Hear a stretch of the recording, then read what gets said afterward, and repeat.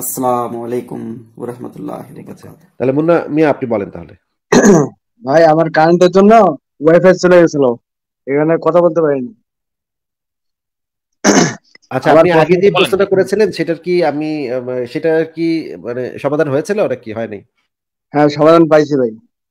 আচ্ছা এবার বলেন তাহলে দ্বিতীয় আর বলেন। আর কিছু প্রশ্ন ছিল? প্রশ্ন ছিল যে আমি কিন্তু দাবি করতেছি না। যেমন নবীজি আহ, আবু জেহেল বলছিল যে তুমি যে লা ইলাহার আহ, দাওয়াত দাও, তো ওইটা দেওয়া বন্ধ করে দাও। তাহলে তোমাকে নারী ক্ষমতা সব দিব। এই হাদিসটা কি কোন সহি হাদিসে আছে না এরা জাল হাদিস?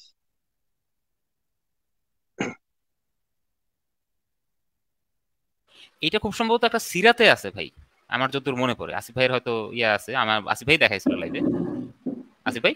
এই এই যে মানে ওদেরকে যে মোহাম্মদকে যে লোভ দেখাইছিল সেটার কথা বলছেন? হ্যাঁ হ্যাঁ প্রলোভনের কথা বলতেছে এইটার। বর্ণনা এইটার বর্ণনা তো কোনো ইয়া থেকে পাওয়া যায় না। হ্যাঁ বলেন।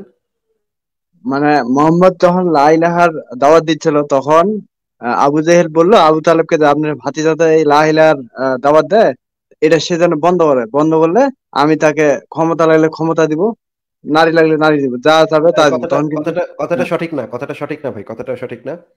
মোহাম্মদ যে আল্লাহর কথা বলছিল এবং আল্লাহর উপাসনা নতুন একটা ধর্মের ইয়া করছিল সেই সময় পৌত্তলিক সমাজে অনেকগুলো ধর্ম ছিল অনেক দেবদেবী ছিল হ্যাঁ তিনশো ষাটটা দেব মূর্তি ছিল সেই কাবা শরীফের ভিতরে।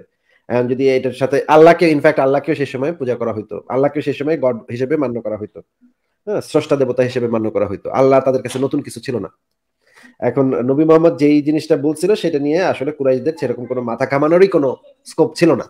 কারণ অলরেডি সেই অঞ্চলে এতগুলো ধর্ম আছে, যে যেমনি ইচ্ছা তেমনি তাদের এক একটা গড টড পালন করে গড টড পূজা করে, তাদের এক একটা পদ্ধতি আছে, উপাসনা করার এক একটা পদ্ধতি আছে, এক একজনের এক একটা গড আছে, এক একটা গোত্রের একটা শীর্ষ গড আছে। কেউ লাত দেবীর পূজা করে, কেউ মানাত দেবীর পূজা করে, কেউ উজ্জা দেবীর পূজা করে, কেউ হুবালের পূজা করে। কেউ আল্লাহর পূজা করে কেউ এখন নবী যদি এসে বলে আমি আল্লাহর পূজা করব তাতেও আসলে সেই কুরাইশ সম্প্রদায়ের ভিতরে এমন কোনো ইয়া হইতো না। কারণ সেখানে সবাই যার যার মতো ধর্ম পালন করতেছে। কুরাইশদের সাথে নবী। মোহাম্মদের কনফ্লিক্টটা হয়েছিল। কনফ্লিক্টটার মূল কারণটা ছিল নবী মোহাম্মদ বলছিল যে আর কোনো দেবদেবীর পূজা করা যাবে না। হুম, তোমরা আর দেবীর আর কোনো দেবদেবীর পূজা করতে পারবে না। আর শুধুমাত্র একটা আল্লাহর পূজা করতে হবে। আর কারোর পূজা করতে পারবে না। আরগুলা সব ভুয়া কথা, আরগুলা সব মিথ্যা কথা, আর গুলারে কেউ পূজা দিতে পারবে না। এইটা নিয়ে, এই বিষয়টা নিয়ে নবী মোহাম্মদের সাথে কুরাইশদের কনফ্লিক্ট ছিল।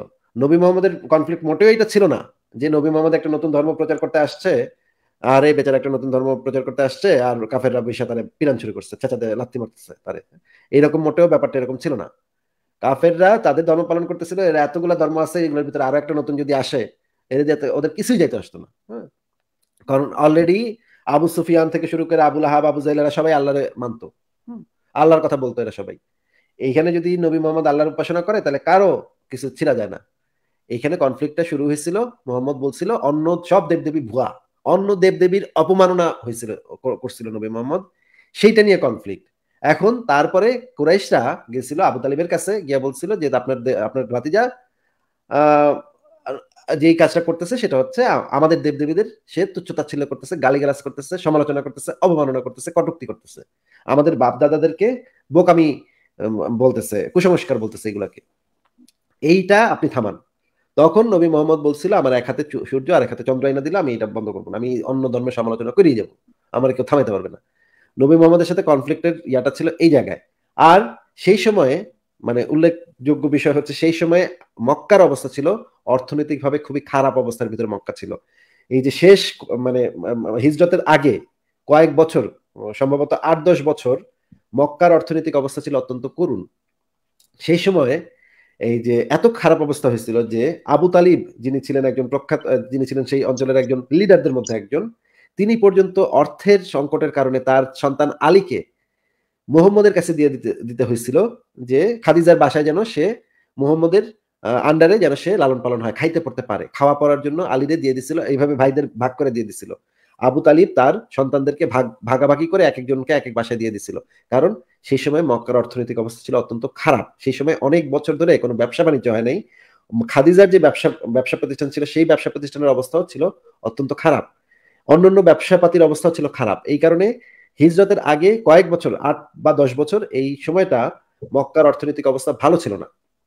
এবং সেই সময় যদি কাফেররা তাকে যদি একটা প্রলোভন দিয়েও থাকে, সেই প্রলোভন দিয়ে আসলে কিছু আসলে অনেক সময় অনেক এলাকায় বলে, আরে তোরে বিশ্ব সুন্দরী জোগাড় করে দিব।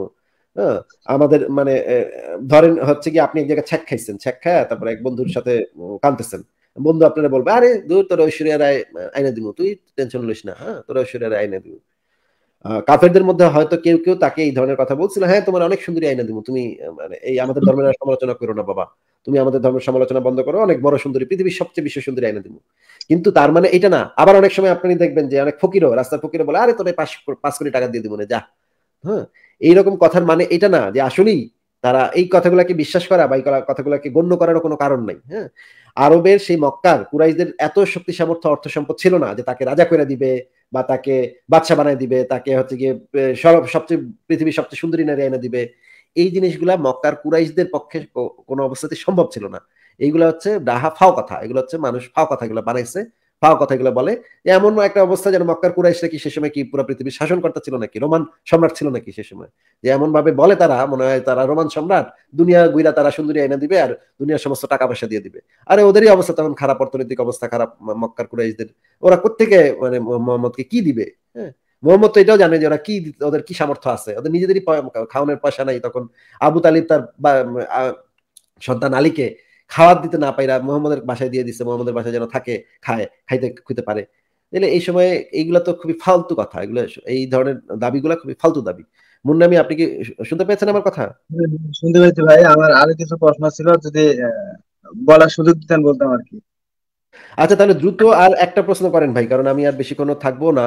আপনি একটু দ্রুত তাহলে শেষ করেন, বলেন। আচ্ছা সূরা সূরা মধ্যে উনপঞ্চাশ, পঞ্চাশ, একান্ন, বাহান্ন, এই আয়াতের মধ্যে সম্ভবত একটা কথা বলা আছে যে, আপনার উপরে হালাল করা হলো ফুফাতো বোন, চাচাতো বোন মামাতো বোন এইসবকে বিয়ে করা আপনার জন্য হালাল করা হলো আর নবীজি বিদায় হজের মধ্যে বলা হয়েছে যে, আমি যা করেছি তোমরা তা করবে না, আমি যা করতে বলছি সেটাই তোমরা করবা। এই আয়াতটার কথার সাথে আমি বুঝতেছি না হিসাবটা। এটা কি এই মামাতো ফুফাতো বোনকে বিয়ে করা কি নবীর জন্য শুধু হালাল ছিল? বা উম্মতের জন্য কি হারাম? না না উম্মতের জন্য হালাল। উম্মতের জন্য হালাল। হালাল। ওমরও ওমরও বিয়ে করছিল নিজের ইসেরে বিয়ে করছিল। মামাতো বোন না যেন চাচাতো বোনের বিয়ে ফুপাতো ফুপাতো বোনের বিয়ে করছিল ওমর। এটা মানে অনেকেই করছে। তাহলে উম্মতের জন্য হালাল। আর আরেকটা প্রশ্ন করে আমি শেষ করে দেবো ভাই। যে হ্যাঁ, ওই বলেন আপনার নবী মোহাম্মদ মদিনায় যা একজন কাফেলা ব্যবসার জন্য গেছিল তাদেরকে কি সন্ত্রাসী ভাবে তাদেরকে মাল লুট করছিল এই ব্যাপারে একটা হাদিস আহ, আসিফ ভাই একদিন আলাপ করছিল আর কি। হাদিসটা একটু আমার জানলে ভালো হতো ভাই এখন তো কবে কোথায় কি আলাপ করছি এটা তো মনে করা তো কঠিন ব্যাপার ভাই। আপনি হাদিস নাম্বারটা আমাকে বলতে পারবেন? ভাই ওই হাদিস নাম্বারটা জানার জন্য আপনাকে জিজ্ঞেস করছিলাম মানে নবীজি মদিনায় ছিল সেই সময় আপনার আবু সুফিয়ানরা ব্যবসার কাজে ইয়ামিনে সম্ভবত যাচ্ছিল আপনি বোধহয় নাখলা আক্রমণের কথাটা বলতেছিলেন ছোট ছোট রেড হ্যাঁ। যেগুলি ধীরে ধীরে পরে বদর যুদ্ধে রূপ রূপ নিয়েছিল। হ্যাঁ। নাখলা আক্রমণটা মুসলিমদের ওইটা বলতেছেন? নাখলা মানে মুসলমানরা যুদ্ধের জন্য না অনেক আছে ভাই মানে বড় হ্যাঁ। যুদ্ধ ছাড়াও এরকম ছোট ছোট অনেকগুলো যুদ্ধ মানে যুদ্ধ না মানে লুটের জন্য আক্রমণ ইংরেজিতে কয় রেইড হ্যাঁ হ্যাঁ হ্যাঁ। লুটের জন্য আক্রমণ শুরু আর কি। এর অনেকগুলি আছে ভাই এর একটা না ভাই অনেক আকাম আমাদের নবী করছে। হ্যাঁ এগুলি কইরা কইরা তারপর কাফেরদের যখন এত বিরক্ত করে ফেলছে, তখন কাফেররা এক হাজার সৈন্য নিয়ে আসছিল যে এই চোরটারে বা ডাকাতটারে একটা শিক্ষা দিতে হবে আর কি এটা শুরুটা নাখলা আক্রমণ দিয়েই বোধহয় হয়েছিল। এর আগেও দু একটা থাকতে পারে, আমি জানি না। নাখলা আক্রমণটা খুব ফেমাস আর কি মানে নাখলা ডাকাতি আর কি তো নবীর বাহিনী ডাকাতি করছিল আর কি ভাই একটা না ভাই, অনেক আছে এটা আমাদের বানায় বলতে হয় না। এটা ইসলামিক সোর্সরাই গর্ব কইরা। হাদিস, কোরআন, সিরাতে এগুলি, কোরআনে না মানে সিরাতে, টিরাতে এগুলি গর্ব করে লেখা আছে যে হ্যাঁ পড়ছি। এটা লুকায় না ভাই। কোনো ইসলামী সৎ আলেম এটা লুকায় না ভাই। আচ্ছা আপনার কাছে আপনার যদি সেই দলিল সেই হাদিসগুলো দরকার হয় তাহলে আপনি একটু সংশয় ডট কমে আগে একটু খুঁজে দেখেন। না পাইলে আপনি আমাকে একটা মেল করে দিয়েন লিখে দিয়েন যে কি জিনিসটা চাচ্ছেন। তখন আমি পরে একটু চিন্তা করে মনে করে দেখব না। আমি তো অনেক হাদিসই বলি এখন সবগুলা হাদিস তো এইভাবে বললে তো আমি আসলে মনে করতে পারি না যে কোনটার কথা আরেকটা ছোট জিনিস জানেন আপনি যখন লাইভে আসবেন আপনি যে কখন লাইভে আসবেন এটা আমি কীভাবে বুঝব? এই যে আমার পেজ আছে পেজে নোটিফিকেশন দিয়ে রাখেন মানে সাবস্ক্রাইব করে রাখেন নোটিফিকেশন অন দিয়ে রাখেন। তারপরে তাহলে যখন আমি লাইভে আসব সাথে সাথে আপনার একটা নোটিফিকেশন চলে যাবে যে এই মানে লাইভে আসছে। আগে থেকে বোঝার কোনো অপশন নাই না? হ্যাঁ হ্যাঁ আগে বুঝ- বুঝবেন আপনি। নোটিফিকেশন পাওয়া মাত্রই বুঝবেন যে আসিফ লাইভ শুরু করছে। আপনি করবেন কি আসিফের পেজে যাইয়া ওই ইয়াটা ওই যে নোটিফিকেশনের যে ইয়াটা আছে ওখানে ম্যানেজ সেটিংস এ গিয়া আপনি ফেভারিটস দিয়ে রাখবেন। ফেভারিটস দিয়ে লাইভ ভিডিও ভিডিও এগুলি সি ফার্স্ট সি ফার্স্ট দিয়ে রাখবেন। আপনি একটু ঢুকেন আসিফের পেজে এটা পেয়ে যাবেন। খুব ইজি না, এইভাবে এইভাবে তো ঢুকতেছি মানে আমি অগ্রিম আগে থেকে কোনো অপশন আছে কিনা এটা জানতে না না অগ্রিম। ভাই কোনো অপশন নেই অগ্রিম অপশন অগ্রিম অপশন আসিফ ভাই তো নিজেই জানে না যে আগামীকাল লাইভে আসবে কিনা বা কয়টার সময় এক্স্যাক্টলি আসিফ ভাই সময় পাবে। এটা তো ভাই আমরা কেউই বলতে পারি না আমরা কখন অন হবে আসলে। হ্যাঁ। এটা তো বিটিভি প্রোগ্রাম না। বিটিভি প্রোগ্রামে যেমন বলা হতো শুধু দর্শক মন্ডলী আগামীকাল রাত সাড়ে নটায় দেখবেন মানে কেয়া কসমেটিক্স এর সৌজন্য ইত্যাদি। আমাদের তো ভাই ওরকম আমরা অনুষ্ঠান ঘোষণা দিতে পারি না ভাই আগে। আচ্ছা ধন্যবাদ আপনাদের সাথে কথা বলে ভালো লাগল ভাই ভালো থাকেন। শুভরাত্রি। আচ্ছা ভাই শুভরাত্রি। ভালো থাকেন আপনিও। তাহলে বিদায় জানাই আপনাকে।